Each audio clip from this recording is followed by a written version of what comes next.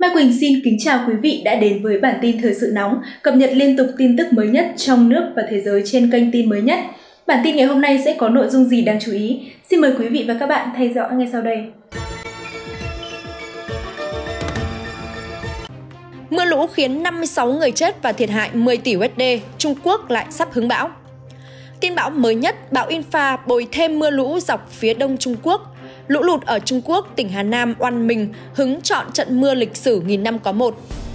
Và còn rất nhiều tin tức khác nữa chúng tôi sẽ liên tục cập nhật để gửi tới quý vị và các bạn. Còn ngay sau đây là nội dung chi tiết. Thưa quý vị và các bạn, mưa lũ hiện nay ở Trung Quốc đã khiến cho 56 người chết và thiệt hại 10 tỷ USD. Trung Quốc lại sắp hứng bão. Tại thành phố Trịnh Châu của Trung Quốc, thiệt hại kinh tế trực tiếp do mưa lũ gây ra đã lên tới 65,5 tỷ nhân dân tệ, tương đương với 10,12 tỷ USD. Hiện đã có ít nhất 56 người chết và tỉnh Hà Nam vẫn đang đếm số người thương vong. Theo tờ báo Hoàn Cầu đưa tin, tính đến ngày 23 tháng 7, mưa lớn và ngập lụt ở tỉnh Hà Nam, miền Trung Trung Quốc đã khiến ít nhất 56 người chết và 495.000 người phải sơ tán tạm thời. Trong đó, riêng ở thành phố Trịnh Châu, thủ phủ của tỉnh Hà Nam, có ít nhất 51 người đã chết. Mưa lũ đã gây hư hại cho hơn 44.209 ha hoa màu tại thành phố này gây ra tổn thất kinh tế trực tiếp khoảng 65,5 tỷ nhân dân tệ, 10,12 tỷ USD. Theo hãng tin AIP, thì số người chết do mưa lũ ở Hà Nam có thể sẽ tăng thêm. Các quan chức tỉnh Hà Nam nói với phóng viên rằng tỉnh này vẫn đang đếm số người thương vong. Truyền thông Trung Quốc cho biết nước này đã triển khai máy bay không người lái để hỗ trợ công tác liên lạc khẩn cấp và đánh giá thiệt hại ở những khu vực bị mưa lũ ảnh hưởng. Trung Quốc cũng đã triển khai 25.000 binh sĩ, cảnh sát vũ trang và dân quân tới hỗ trợ tỉnh Hà Nam. Họ đang chạy đua với thời gian để đưa người dân ra khỏi các khu vực bị ngập lụt. Bộ Quản lý Khẩn cấp Trung Quốc cũng triển khai nhóm lính cứu hỏa thứ hai từ 8 tỉnh tới tham gia công tác cứu hộ. Trịnh Châu, một trong những thành phố bị ảnh hưởng nặng nề nhất do mưa lũ ở Hà Nam, đang tăng tốc đưa cuộc sống trở lại bình thường khi nước lũ ở một số nơi bắt đầu chút xuống. Ngày 23 tháng 7, lính cứu hỏa tiếp tục hút nước bùn ra khỏi các đường hầm. Nhiều công ty nước ngoài gồm nhà sản xuất ô tô Nissan của Nhật Bản có cơ sở sản xuất ở Trịnh Châu.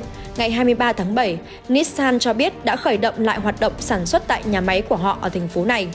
Theo hãng tin Kyodo, tuy nhiên theo truyền thông Trung Quốc, dự báo bão Infa sẽ đổ bộ vào Trung Quốc và tiếp tục gây mưa lớn cho nhiều khu vực của tỉnh phía Nam trong những ngày tới.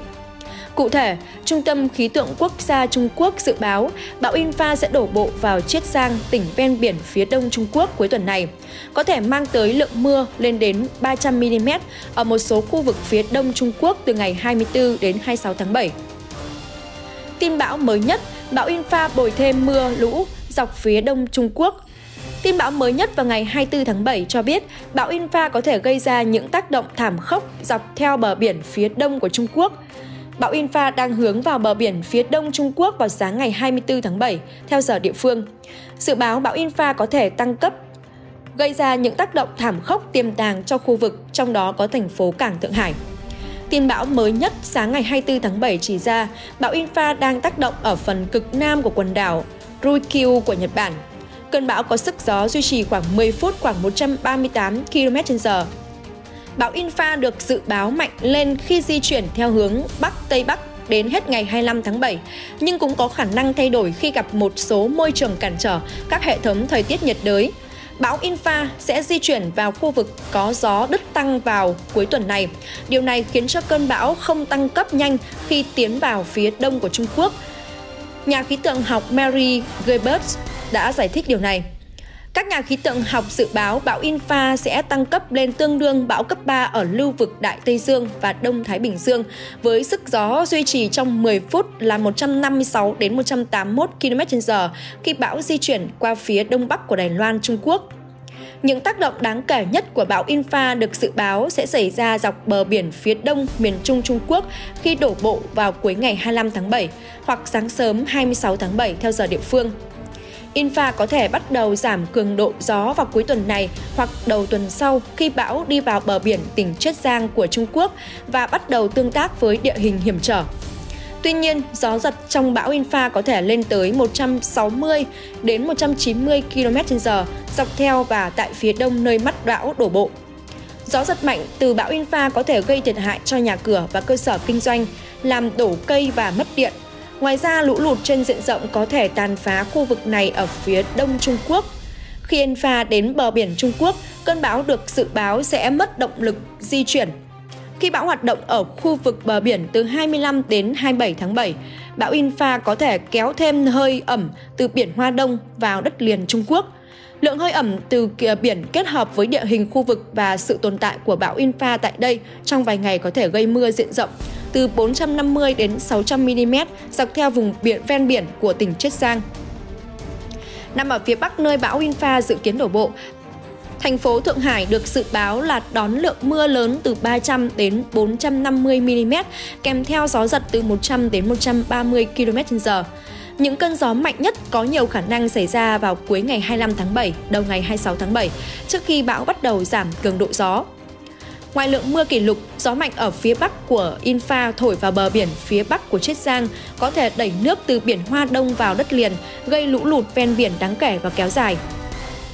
Khi bão Infa tác động dọc bờ biển phía đông Trung Quốc vào đầu tuần tới, một khu vực áp cao sẽ phát triển xa hơn vào đất liền để cân bằng khí áp thấp lên liên quan đến cơn bão. Khi áp cao này sẽ mang lại thời tiết khô giáo hơn cho tỉnh Hà Nam, nơi có lượng mưa lũ lịch sử hồi đầu tuần này. Lũ lụt ở Trung Quốc, tỉnh Hà Nam oằn mình hứng chọn trận mưa lịch sử nghìn năm có một. Trận mưa lịch sử trong 3 ngày qua đã khiến nhiều nơi ở tỉnh Hà Nam, Trung Quốc chìm trong biển nước. Đây được xem là hiện tượng hiếm đến mức chỉ xảy ra một lần trong 1.000 năm. Những ngày gần đây, tỉnh Hà Nam đã phải hứng chịu một trong những trận lũ lụt kinh hoàng nhất ở Trung Quốc. Thành phố Trịnh Châu thuộc tỉnh này có lượng mưa lên tới 622,7 mm chỉ trong 24 giờ từ sáng 20 tháng 7 tới sáng 21 tháng 7 gần bằng lượng mưa trung bình hàng năm của thành phố là 640,8 mm. Trong ảnh thì các phương tiện bị mắc kẹt được nhìn thấy trên một con đường ngập trong biển nước sau trận mưa lớn ở Trịnh Châu. Các nhà khí tượng cho biết hiện tượng mưa lớn vừa xảy ra ở tỉnh Hà Nam là kỷ lục kể từ khi mà các số liệu được ghi nhận cách đây 60 năm và là hiện tượng hiếm đến mức chỉ xảy ra một lần trong 1.000 năm. Trong ảnh thì nhiều tuyến đường ở thành phố Trịnh Châu bị bao phủ trong biển nước. Đến nay, mưa lớn và ngập lụt ở tỉnh Hà Nam đã gây tổn thất kinh tế trực tiếp khoảng 1,22 tỷ nhân dân tệ, tương đương với 4.342 tỷ đồng Dự báo Trịnh Châu và nhiều địa phương khác ở Hà Nam có thể sẽ tiếp tục hứng chịu các đợt mưa lớn trong vài ngày tới. Theo thông tin từ cơ quan quản lý tình trạng khẩn cấp địa phương, tổng cộng là 376.000 người đã được sơ tán tới nơi an toàn, có 215.000 hecta hoa màu bị ảnh hưởng. Ảnh chụp từ trên cao cho thấy các khu vực bị ngập lụt sau trận mưa lớn ở Trịnh Châu, tỉnh Hà Nam. Trận lũ lịch sử đã khiến ít nhất 33 người thiệt mạng và 8 người mất tích, trong đó có 12 hành khách tử vong trong toa tàu điện ngầm bị ngập nước ở Trịnh Châu.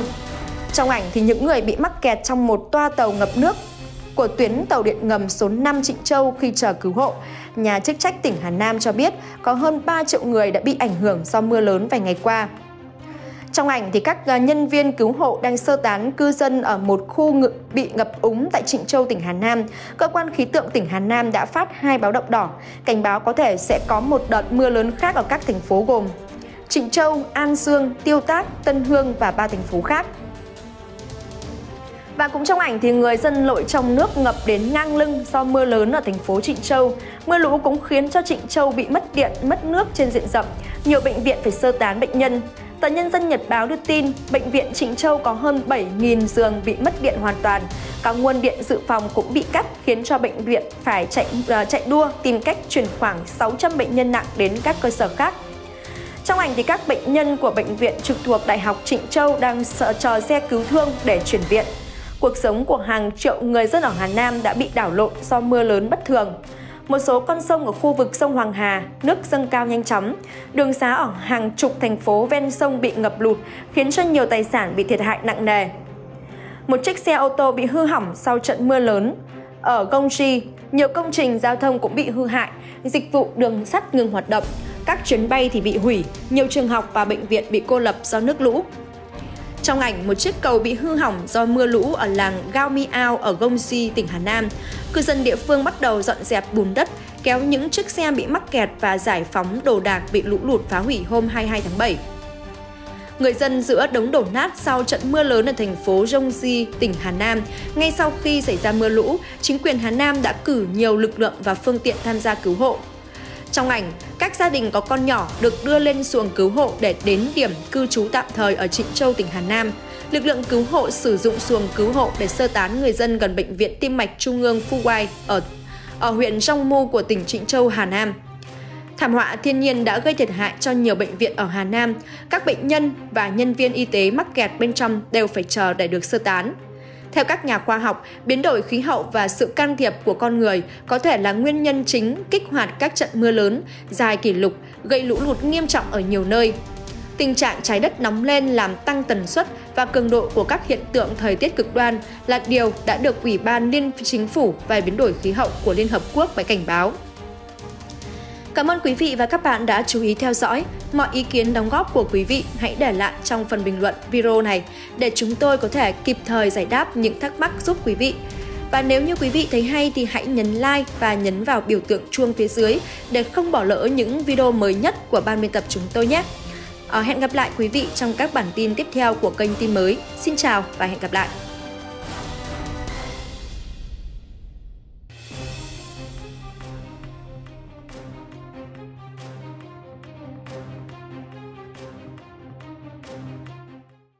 Trên đây là những thông tin tổng hợp những chi tiết nội dung nổi bật trong ngày của kênh tin mới nhất. Cảm ơn quý vị và các bạn đã chú ý theo dõi tới cuối video này. Mọi ý kiến đóng góp của quý vị, hãy để lại trong phần bình luận phía dưới để đội ngũ của chúng tôi có thể kịp thời hồi đáp. Kính chào quý vị và hẹn gặp lại.